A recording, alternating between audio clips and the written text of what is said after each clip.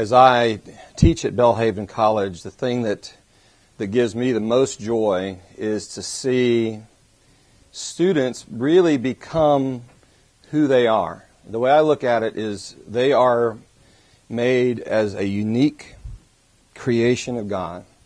And their calling is to be them, is to is to uh, to take a look at what God has made them to be, what opportunities God has placed you know, in their lives, and and to to then steward and nurture what God has made them to be. And I see my job as sort of a as a player coach, as a as a nurturer of someone to interact with them and not not try to make them what I want them to be, but for me to um, help them to be what what uh, God has made them to be. And I think that's a, that takes a, it's a process of of prayerful discovery.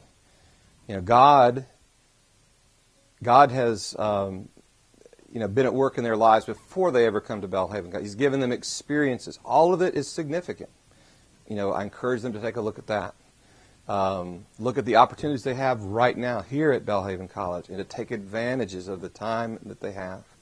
And so I think the most fun that I have is simply to see um, God at work in students, to see them grow. I get more joy hearing a student perform well, uh, mature, and grow in their artistry and their character uh, than I do actually my own personal public performances. Uh, it thrills me to see those that I've invested in taking, taking wing and becoming uh, more and more what God's created them to be.